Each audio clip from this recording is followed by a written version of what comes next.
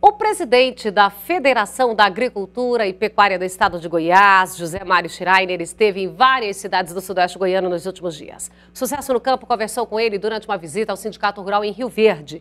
O presidente da FAEG comentou sobre temas como o problema da falta de energia elétrica no campo, a possibilidade de assumir uma vaga na Câmara Federal e o provável nome para ocupar o Ministério da Agricultura.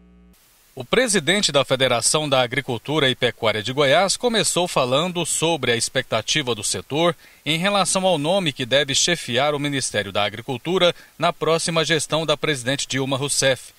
A senadora e presidente da CNA, Confederação Nacional da Agricultura, Cátia Abreu, é uma das mais cotadas para assumir o cargo. É, e nós temos acompanhado, nós temos é, visto, de, é, visto o, que tem sido comentado pela imprensa, os nomes que têm sido é, cogitados. É claro que o que a gente espera é que sejam pessoas que conheçam profundamente o setor, pessoas que conheçam o anseio da classe produtora rural. Ainda nós temos muitos desafios a, a resolver na questão da agricultura. Eu digo isso por exemplo, na questão da política agrícola, hoje nós temos uma política de crédito, mas falta uma política de um seguro rural mais eficiente, um seguro rural que dê cobertura e que dê segurança aos nossos produtores rurais, a discussão da logística, da infraestrutura do nosso país, né? tanto a infraestrutura dentro das propriedades rurais, como na construção e na, na, disponibilização de mais recursos para a construção de armazéns, a disponibilidade de energia elétrica em qualidade e quantidade necessária, e também, é claro, a grande logística do Brasil, que são as nossas ferrovias, as hidrovias, as nossas rodovias. Esperamos por mais duplicações de rodovias principalmente no sudoeste do estado.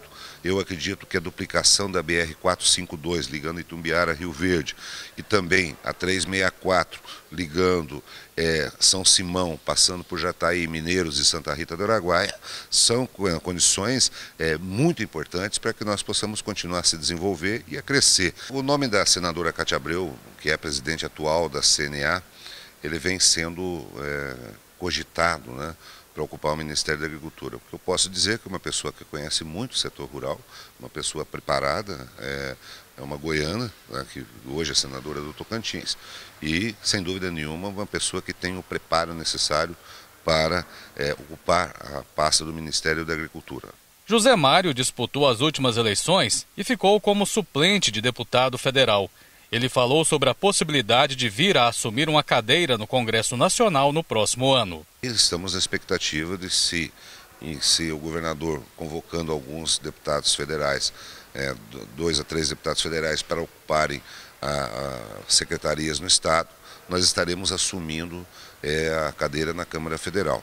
E é claro que com uma expectativa muito grande e extremamente preparados para podermos estar trabalhando firmemente em prol da defesa das pessoas que produzem, das pessoas que trabalham, né, de levar essas vozes, principalmente do, dos quatro cantos do estado de Goiás, dos, dos longínquos rincões goianos, ao, ao, à Câmara Federal. Abordamos com o presidente da FAEG o problema da constante falta de energia elétrica no campo que tem causado transtornos para produtores e empresas rurais em Goiás.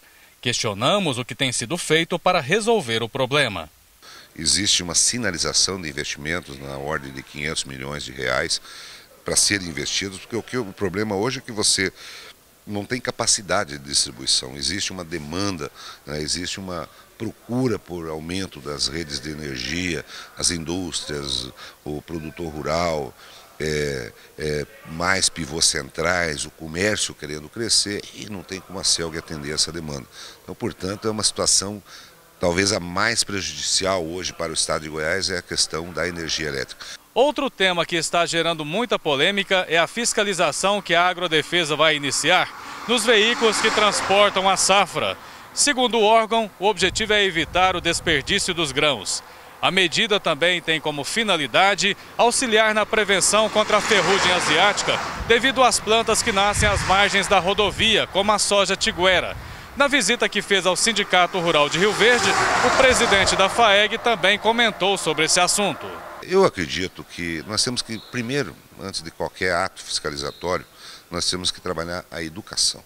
Né? Então é importante nós todos, a FAEG, os sindicatos rurais, associações cooperativas, juntamente com a agrodefesa, a gente é, levar o conhecimento da importância, da conscientização, né? porque são medidas simples, forrar o canto do caminhão às vezes que está vazando, é, ali onde que possa haver um desperdício de, de, semente. Agora, é claro que no Brasil nós temos o costume de fiscalizar, tanto que os órgãos fiscalizadores, eles são muito bem estruturados. Né? Normalmente os órgãos fiscalizadores, eles chegam numa propriedade rural com uma caminhonete traçada, muito bem estruturado, né? todo com aparato. Por quê? Porque o órgão fiscalizador, ele arrecada.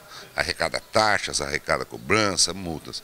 E aí, de repente, chega um outro carrinho, né, bem um carrinho já de muitos anos, aqueles carrinhos pequenininhos, duas portas, quando vê é o educador, que é a Imater, que é o técnico que vai dar a orientação. Nós temos que ter um equilíbrio né, entre a fiscalização e a educação. E o que eu defendo é principalmente a educação.